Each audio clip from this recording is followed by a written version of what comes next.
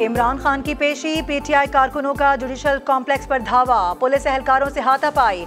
धक्के दिए judicial complex का दरवाज़ा तोड़ दिया।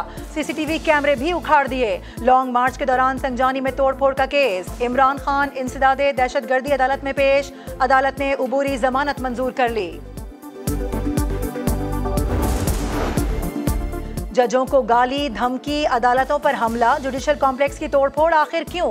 क्योंकि फॉरेन फंडेड घड़ी चोर के पास कोई जवाब नहीं। विफाकी वज़ीर अतलात मरियम औरंगज़ेब का शदीद रद्द अमल कहा, जब अदालतें तारीख पर तारीख देंगी तो ऐसा तो होगा। एक शख्स आइन और अदालती निज़ाम पर हमलावर है, लेकिन कोई नोटिस नहीं।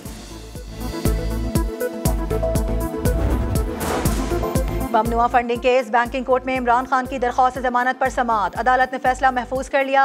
20 मिनट बाद सुनाया जाएगा। स्पेशल प्रोसिक्यूटर की जानब से जमानत की मुखालफत, कहा, आज तक इमरान खान ने तफ्तीश में ताबन नहीं किया। ये तर्ज अमल जमानत खारिज करने के लिए काफ़ी है।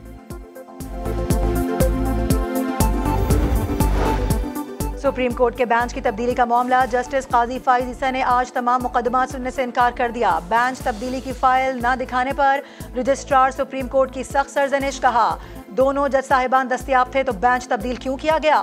बगैर वजूहत, बेंच तब्दील होने से शकूक शुबात पैदा होते हैं। अवाम में गैर ज़रूरी तनकीद होती है। पूरी दुनिया इस केस को देख रही है। अपना मौक़ सोच कर बताएँ। आज मुकदमात ना सुनने पर वकला से माजरत चाहता हूँ।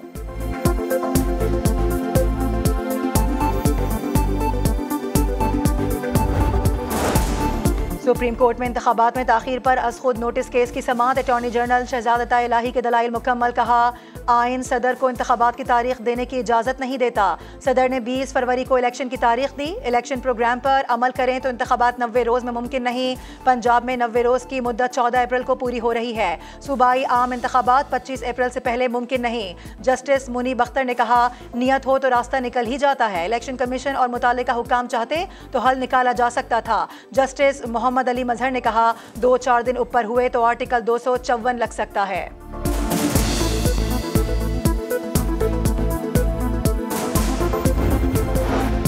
इलेक्शन से भाग नहीं रहे। अदालत जब कहेगी, इलेक्शन करवा लेंगे। निगरान वजी अला पंजाब मोहसिन नकवी की गुफ्तु कहा, कोई इंतकामी कार्रवाई की है तो इमरान खान बता दें। इमरान खान इस्लामाबाद गए हैं, इसलिए जमान पार्क से सिक्योरिटी बुलवाई। दोबारा आएँगे तो अहलकार वापस कर देंगे।